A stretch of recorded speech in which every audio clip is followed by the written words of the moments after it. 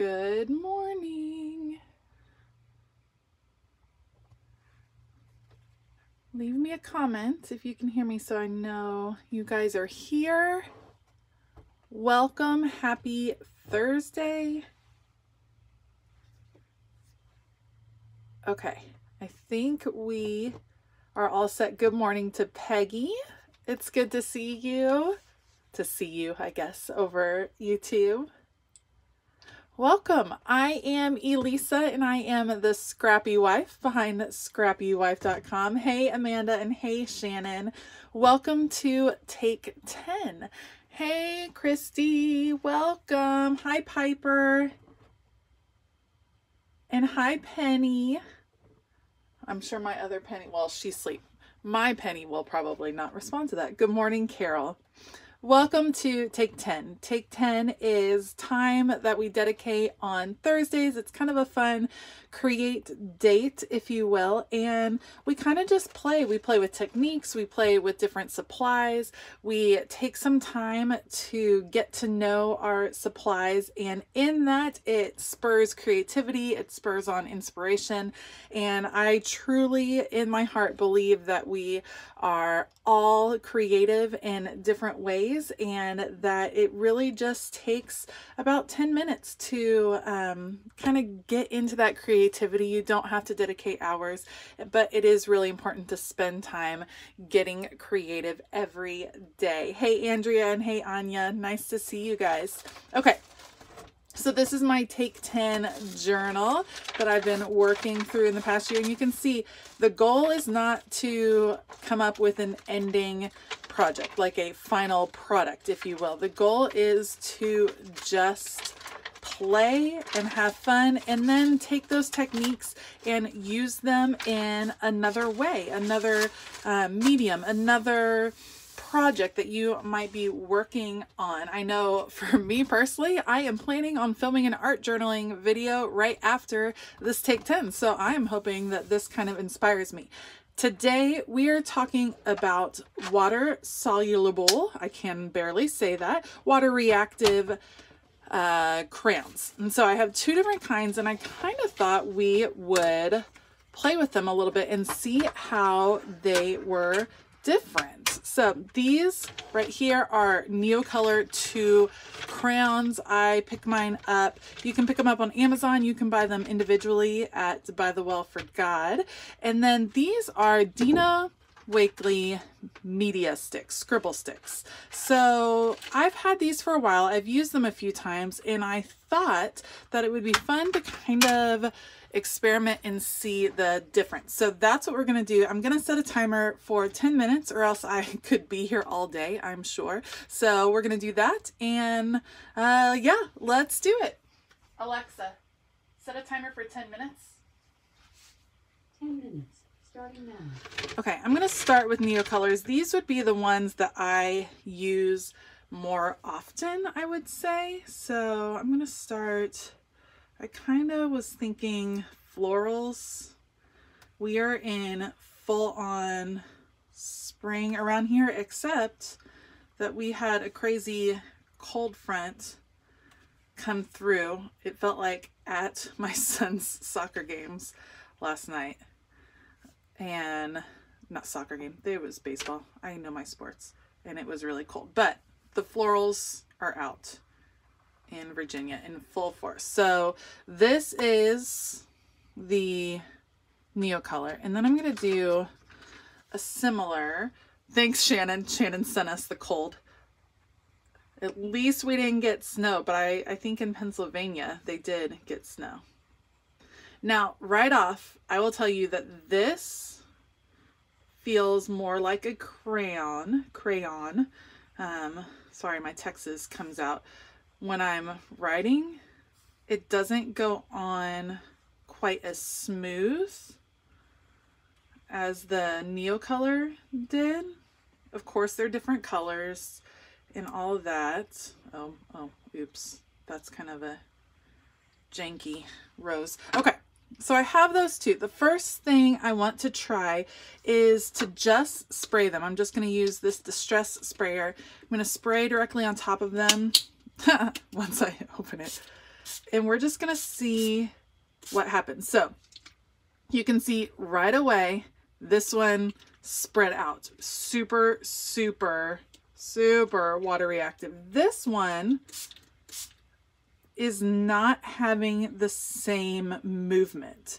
So this one I feel like you would need to use a brush to move it just a bit more. So let's try, now that we've done that, let me come back and you can see as I go over these with the brush, it's now it's moving. I don't need any more water. I don't know why I got any in there.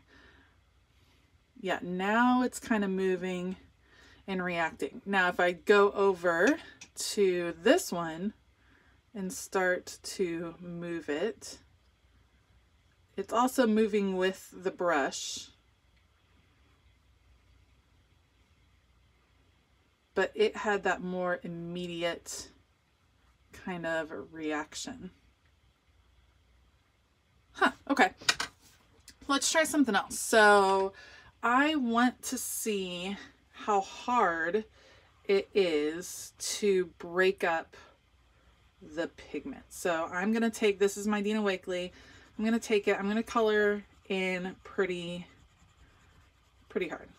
So coloring in, adding in that leaf, and then let me grab, let me see if I have a similar, I'm sure I do. This one's called Chinese Green. Let's see how this one does. Not totally similar. That's yellow. Okay, but I'm going to do the same thing. Actually, I want to switch colors. Let's do this one. I'm going to do the same thing. Sorry, this is probably... And I'm to put... I'm to color in pretty hard. So what I want to see is when I add the water, can I break up all of the wax pretty easily or am I left with specks? Because sometimes on hello, hello in Germany, sometimes when I am using things like this, it's hard to break up all of the little wax pieces and it ends up looking a little bit speckly. Okay, that one definitely broke up. All right, let me see you guys can see this. It's still a coarse drawing, but this one, pretty good. What happened over here was I didn't get the same amount of coverage. Of course, I am, this is kind of media paper. It's probably not meant to take quite this much water, but an idea. So let's put this here so it doesn't explode everywhere or run everywhere. I'm to turn to a different page and we're going to try another technique, which is something I really like with Neocolors, and that would be getting it wet. So this is the Dina Wakley. I'm just going to get it wet and we're going to draw with it wet. And that's interesting. So because it's so water reactive, you're seeing a line and wasn't quite as wet let me go over it. It's reacting so fast. So you're seeing the line and that in there? That's interesting. And when I fill it in it's going to be the darker color. Let me fill in. So I'm coloring. This is just coloring with oh oh no oh no! You guys I just dropped the whole I dropped the whole scribble stick into the water. Look at my hand, you guys. Don't make fun when you see my art journal video next week and my hands are already purple. We're a mess up in here. Oh, look at friends. Oh, never ever drop your whole scribble stick in the water. Wow. Okay, so that's the purple. And now I'm gonna react. So I feel like with the scribble sticks, you retain more of the sketch lines, in my opinion. And you can see, I mean, this paper, again, not meant to take the water, so this is really just for experimenting purposes. Some of the speckles you're seeing is the paper breaking down just a little bit. Let's try, we'll go with purple since my hands are already purple. I mean, yesterday was purple day for the military, um, for military children. So there you go. Okay, this I'll hold tight. So this time I'm getting it wet. All right, same effect.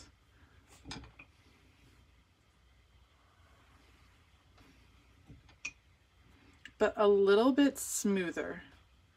Like I said before, I feel like the Neo color is just a little bit smoother. Taking my water now, tons of water. Okay, so you can see that while I still see the sketch lines, I don't think they're quite as harsh, you might say. So that's definitely a difference. All right, let me do, now I wanted to do a little bit of blending. Now I don't have, oh sorry, went through, shows you how much water. I'm gonna start, I'm gonna do some, we'll color some pink. This is the scribble stick. We'll go into orange. I'm going to leave a little bit of space between them. And then we'll do yellow.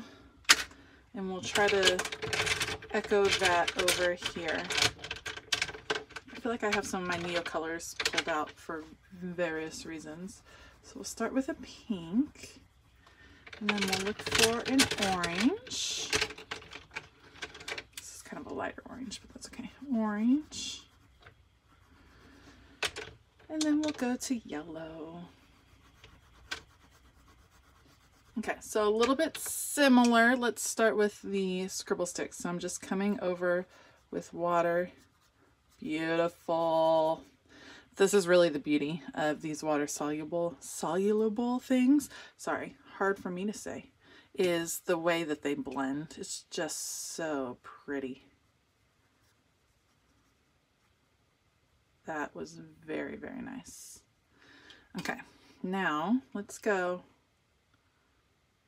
That was not the right thing to do. Okay, let's react this. Let's be a little more patient on my part.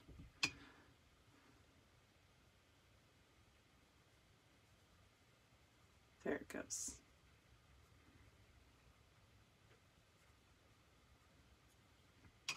spreading it out just a little bit.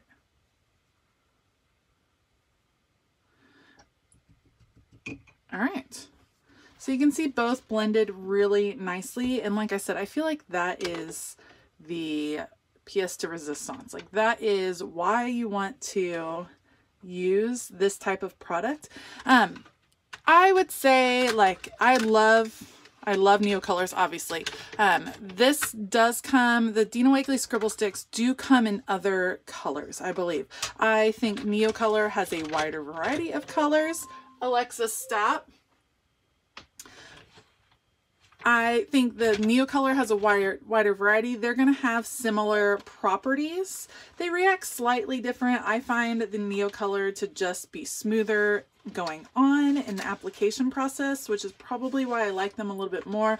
I think you can get a different effect with the Dina Wakley ones depending on what you're going for. So that's something to consider, but they're so fun to play with. And both of these are great options as we start to travel a little bit more. Um, if you want to bring something that is similar to watercolors on the go, it is awesome to just, you know, bring this and you have a ton. This is like I don't know, probably 80 probably 80 Neocolors in here. So you would never be able to carry a watercolor palette with that much in it um, in this size of container. So they are fabulous. You can use them in so many ways. Um, why would I use these instead of watercolor? I would use these to sketch first, Peggy. So if I am wanting to sketch like I did in the beginning, um, I would sketch with these harsher lines. So um, I know some people can paint straight with watercolor, but if I'm wanting to sketch out the one, what I'm doing first, like with the florals, then um, that's why I would use these. I also use them when I stamp an image and I can color it in kind of old school um, wise and then I can come back and add in the water. It smooths it out just a bit and that enables me to get a watercolor look with a different technique, especially if I'm not feeling as comfortable with my ability to control watercolor, which is, you know, part of the part of the thing with watercolors is you can't control them and that is why they are so beautiful. So,